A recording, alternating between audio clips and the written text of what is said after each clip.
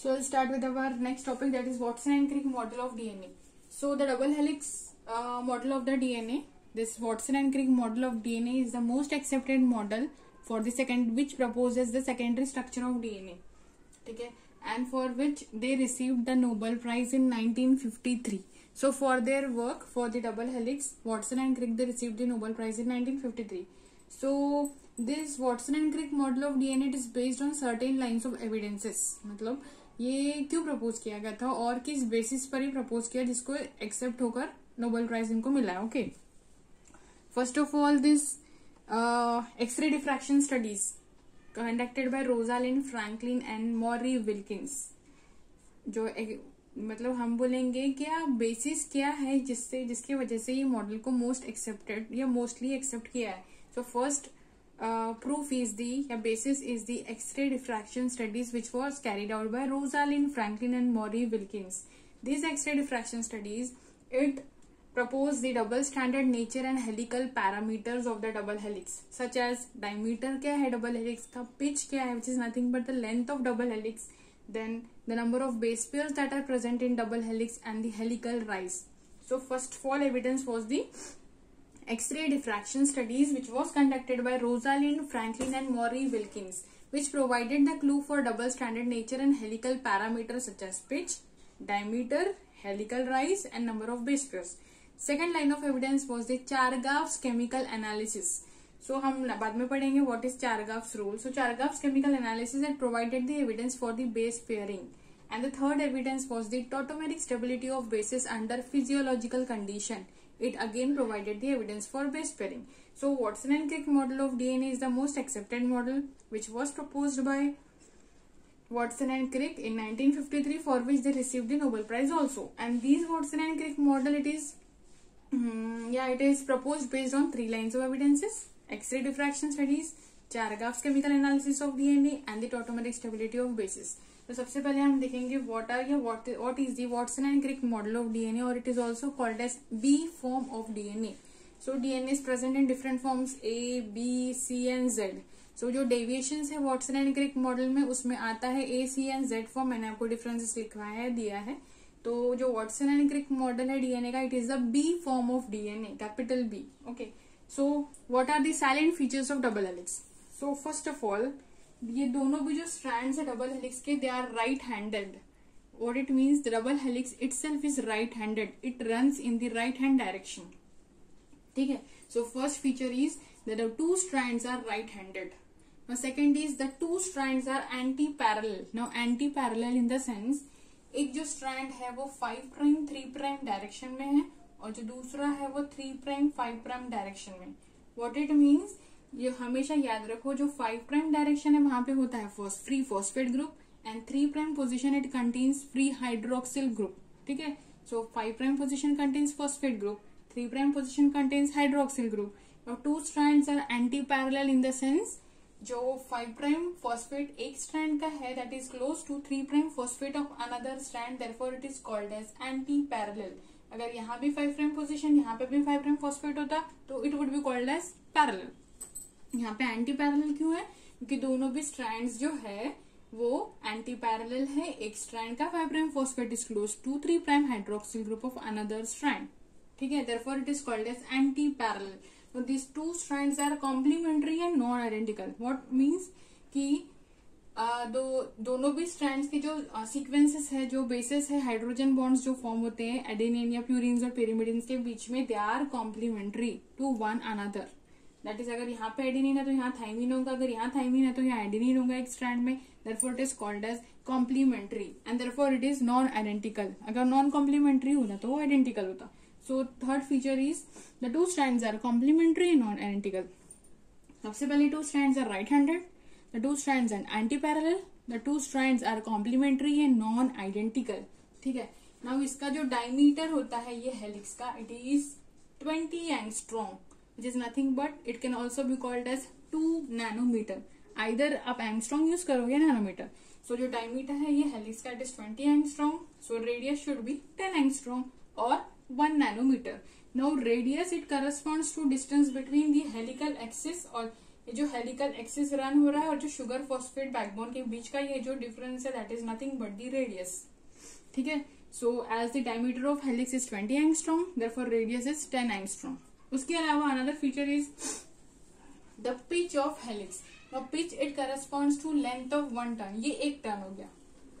ठीक है? This is one turn so this length of one turn या फिर ये एक टर्न हो गया। ठीक है? This is one turn the length of one turn it is thirty three point four angstrom sorry thirty four angstrom और three point four nanometer so इसका लेंथ कितना है? लेंथ ऑफ़ वन टर्न और it is also called as pitch of helix is thirty four angstrom और three point four nanometer now this each turn अब ये जो एक टर्न है, इसमें होते हैं ten base bases ten base pair in crystal structure and ten point five base pair in solution अगर क्रिस्टल स्ट्रक्चर है तो उसमें दस बेस पेयर होंगे, अगर सोल्यूशन है तो उसमें ten point five base pair होंगे।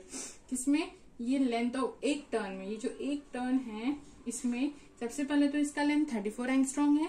इसमें कितने बेस पेयर अकोमोडेट होते हैं? टेन ठीक है? Now now next is helical rise helical rise का मतलब होता है ये जो डिस्टेंस होता है दो base pair adjacent base pair के बीच में।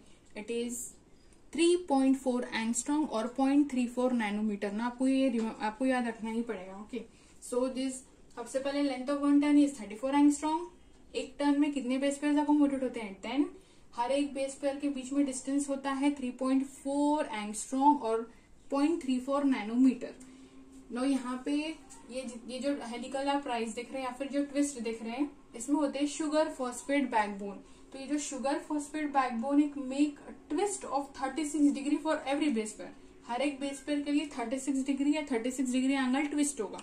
ठीक है? नाउ यहाँ पे ये शुगर फॉस्फेट प्रेजेंट होता है और इसके बीच में यहाँ प्रेजेंट होते हैं नाइट्रोजन बेसिस और base pairs we can call it as ठीक है? तो ये जो शुगर फॉस्फेट बैकबोन होता है, ये ट्विस्ट होता है for 36 degree angle for every base pair now जो हाइड्रोफोबिक बेसिस होते हैं हाइड्रोफोबिक बेसिस हाइड्रोफिलिक मतलब वाटर लविंग हाइड्रोफोबिक बेसिस मतलब you do not love water तो ये हाइड्रोफोबिक बेसिस कहाँ होंगे? They will remain inside they are not in direct contact with water ठीक है?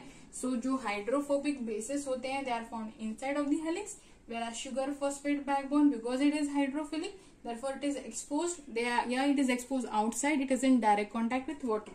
ठीक है? नाउ ये जो बेसिस होते हैं they are almost perpendicular to the helical axis ये जो हेलिकल एक्सिस जो रन हो रही है बीच में से उसके लिए जो बेसिस है दे आर परपेंडिकुलर ठीक है? Bases are perpendicular to the helical axis now next is जो बेस पेयरिंग होती है, जो नाइट्रोजन बेसिस है यहाँ पे adenine guanine cytosine thymine uracil ये डीएनए है तो यहाँ पे यूरासिल होगा नहीं। So adenine guanine cytosine thymine इनके बीच में जो बेस पेयरिंग है दैट इज़ हाईली स्पेसिफिक कैसे? एक प्यूरिन पेयर करेगा एक पिरिमिडिन के साथ ही। कभी भी प्यूरिन प्यूरिन का पेयरिंग या पिरिमिडिन पिरिमिडिन का पेयरिंग नहीं होगा। So base pairing it is highly specific purine in one strand will pair with pyrimidine in complementary strand तो अगर ये एक स्ट्रैंड का प्यूरिन है तो दूसरे स्ट्रैंड का पिरिमिडिन ही इन्वॉल्व होगा। प्यूरिन प्यूरिन या पिरिमिडिन पिरिमिडिन के बीच में पेयरिंग कभी नहीं होगी। ठीक है? ये जो बेस पेयरिंग होती है उसमें हाइड्रोजन बॉन्ड्स इन्वॉल्व होते हैं। So which bonds are involve in base pairing hydrogen bond क्योंकि हमको पता है कि जो हाइड्रोजन बॉन्ड है they are thermodynamically very weak उसमें एनर्जी सिर्फ़ one two three kilocalorie per mole होती है। सो so, यहाँ पे मिलियंस ऑफ़ हाइड्रोजन बॉन्ड रहने की वजह से it provides very high stability to the DNA So base pairing is highly specific. Purine in one strand pairs with pyrimidine in complementary strand. ठीक है? और जो बेस पेयरिंग है, इसमें कौन से बॉन्ड इन्वॉल्व होते हैं? हाइड्रोजन बॉन्ड क्योंकि hydrogen bond thermodynamically very weak होते हैं, उसकी एनर्जी सिर्फ़ one two three kilocalorie per mole होती है. Therefore millions of hydrogen bond provide very high stability अब उसके अलावा एडेनिन और थाइमिन जब पेयर होते हैं तो उसमें दो हाइड्रोजन बॉन्ड्स इन्वॉल्व होते हैं. जब ग्वानिन और साइटोसिन में पेयरिंग होती है, तब तीन हाइड्रोजन बॉन्ड इन्वॉल्व होते हैं. ए पेयर्स विद टी और T pairs with A one and the same दो हाइड्रोजन बॉन्ड इन्वॉल्व हो गए। ग्वानिन पैर करता है साइटोसिन के साथ या साइटोसिन पेयर करेगा ग्वानिन के साथ विद थ्री हाइड्रोजन बॉन्ड्स ठीक है? नाउ हर एक टर्न में average number of hydrogen bond will be twenty five कितने बेस पेयर्स अकोमोडेट होते हैं? एक टर्न में टेन बेस पेयर्स उनके बीच में average number of hydrogen bonds कितने होते हैं? ट्वेंटी फाइव ठीक है? एक टर्न का लेंथ कितना होता है? पिच थर्टी फोर एंगस्ट्रॉन्ग एक टर्न में कितने बेस पेयर अकोमोडेट होते हैं? टेन। और उसके अलावा कितने हाइड्रोजन बॉन्ड्स इन्वॉल्व होते हैं? टेन बेस पेयर में twenty five number of hydrogen bond कहीं टू होंगे, कहीं थ्री जहाँ पे एडिनिन थाइमिन पैर करेंगे, वहाँ पे टू हाइड्रोजन बॉन्ड जहाँ पे ग्वानिन साइटोसिन पैर करेंगे, वहाँ थ्री हाइड्रोजन बॉन्ड नाउ अब इसमें डबल हेलिक्स में दो ग्रूव्स होते हैं। Grooves are nothing but region जहाँ पे प्रोटीन्स इंटरेक्ट करते हैं डीएनए के साथ। ये दो ग्रूव्स है minor groove and the major groove now these are the minor group and these are the major group ठीक है? Now group are the region जहाँ पे प्रोटीन्स इंटरेक्ट करेंगे डीएनए के साथ. Now minor group that is जहाँ पे small folding है that is it is a region जहाँ पे हिस्टोन प्रोटीन्स इंटरेक्ट करेंगे डीएनए के साथ. आगे हम पढ़ेंगे what are histones and all ठीक है?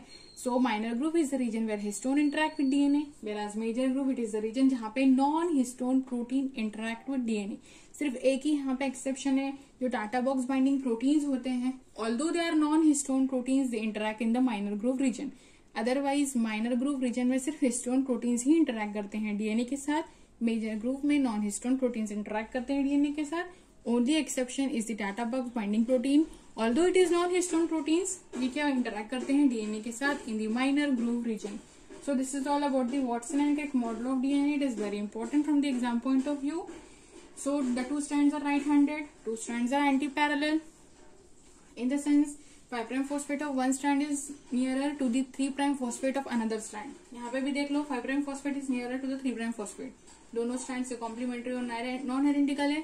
इसका मतलब सीक्वेंस जो होगा एक स्ट्रैंड में, ये कॉम्प्लीमेंट्री होगा to the sequence in other strand अगर यहाँ एडिनिन है तो यहाँ ग्वानिन सॉरी एडिनिन है तो थाइमिन ग्वानिन है तो साइटोसिन थाइमिन है तो एडिनिन साइटोसिन है तो ग्वानिन एंड सो ऑन ठीक है? नाउ लेंथ इसका डायमीटर 20 एंगस्ट्रॉन्ग है। Radius that is distance between the helical axis and sugar phosphate backbone is ten 10 angstrom pitch का लेंथ होता है that is length of one turn is 34 angstrom 10 base pair accommodate होते हैं। उसके अलावा इसमें 25 नंबर ऑफ़ हाइड्रोजन बॉन्ड है। Bases almost perpendicular होते हैं हेलिकल एक्सिस से। जो ये हाइड्रोफोबिक बेसिस होते हैं they are in inside interior of the molecule जो शुगर फॉस्फेट बैकबोन होते हैं they are in direct contact with water base pairing involve hydrogen bond और हाइड्रोजन बॉन्ड होती है between adenine and thymine cytosine and guanine adenine और thymine में हमेशा pairing होती है एक प्यूरिन और एक पेरीमिडिन के साथ। अगर एडिनिन पेयर कर रहा है थाइमिन के साथ तो दो हाइड्रोजन बॉन्ड ग्वानिन पैर कर रहा है साइटोसिन के साथ तो तीन हाइड्रोजन बॉन्ड हम ऑलरेडी पिछले क्लास में देख चुके what are purines and pyrimidines adenine and guanine are purines cytosine thymine are pyrimidines ठीक है? उसके अलावा इसमें दो ग्रुप्स होते हैं minor group and major group groups ये वो रीजन होते हैं जहाँ प्रोटीन्स इंटरेक्ट करेंगे डीएनए के साथ. हिस्टोन प्रोटीन्स मेजर ग्रुप में नॉन हिस्टोन प्रोटीन्स सिर्फ़ एक ही एक्सेप्शन है that is TATA box binding protein it is non histone proteins but it interact with DNA in the minor group region अब इसमें एक छोटा सा पॉइंट है that is deviation from Watson and Crick model so these deviation it just includes the distinction between A form of DNA C form of DNA B form of DNA and Z form of DNA अगर आपको double helix model पूछता है DNA का, या Watson and Crick model it refers to B form of DNA and the deviation include A form C form and Z form difference between मैंने आपको बताया है नोट्स में I have already provided you with the notes carefully watch this if you have any doubt you can ask okay thank you this is about to today's class okay